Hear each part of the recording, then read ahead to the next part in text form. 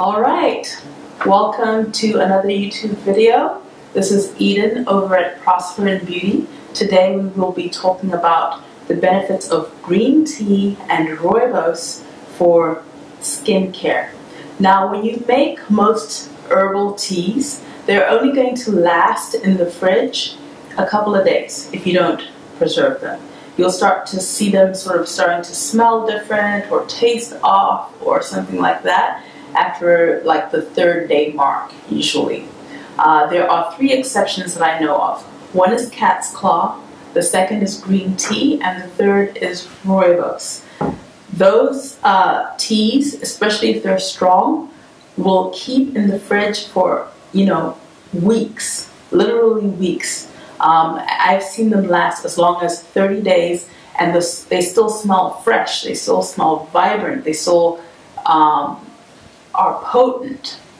Okay, so that's just the antioxidant power. Both green tea and rooibos are packed with antioxidants. So when I observed this phenomenon going on in the fridge, I was like, wow, imagine what that's doing for me inside. Okay, and there's plenty of research to back this. I'm not going to go into the research backing the antioxidant value of green tea um, and or rooibos tea. So um, it also works really well topically. Even if you just made a tea, a concentrated tea, and you just put it on your face in between after your toner and before your serum or before your daily moisturizer, whatever that was, you will start to notice a glow and um, a sort of your elasticity returning and so forth, and just kind of you'll notice the anti-aging effect of it. So it's always great to add in lotions and creams and uh, I have a line for anti-aging skincare that's specific for the desert climate. And I love to put it in that because you really need a lot of um, antioxidants and anti-aging factors when you're living in the desert because the climate is so severe and so harsh on the skin. So I'm just going to show you how to make a simple green tea and rooibos extract at home. Okay, so this is what green tea looks like. This is an organic green tea. It's a gunpowder green tea. That's the one I prefer to use. Um, it has the most sort of neutral smell out of all the different ones. Um, it's high in antioxidants, not much higher than any of the other varieties, but you know, it's potent, it's clean, it's simple, it works well with a lot of different things, doesn't have a lot of fragrance issues. And this is just what the rooibos looks like. See that beautiful red color?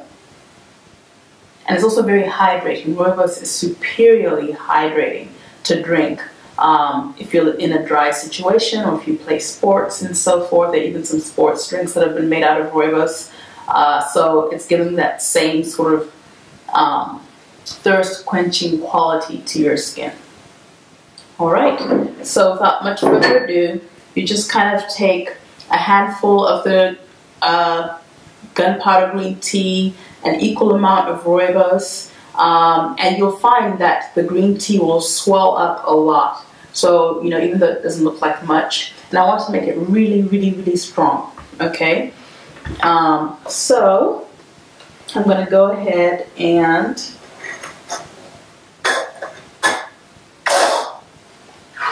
take this.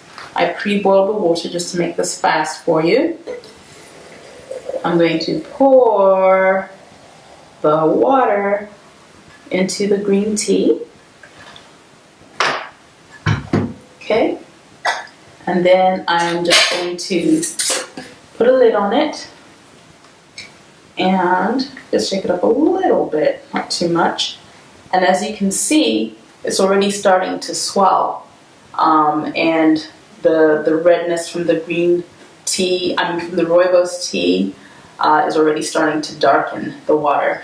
So I'm going to leave that like that for about four hours and then um, by then it'll be cooler. I will add some preserve. I'll strain it. I'll add some preservative to it so it can last for six months in my fridge as opposed to just the one month. And then it's ready for use in my skincare creams. So if you want to learn how to make anti-aging skincare for the desert or just anti-aging skincare period, feel free to opt in below and I will give you some pointers on how to do that.